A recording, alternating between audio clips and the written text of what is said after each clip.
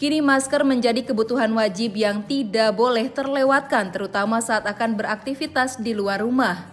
Masker memiliki fungsi untuk melindungi diri dari virus yang kini merebak, namun penggunaan masker yang terlalu lama bisa menimbulkan masalah pada kulit wajah seperti warna kulit belang, jerawat dan lainnya menjadi masalah kulit yang sering dijumpai pada masa pandemi seperti saat ini.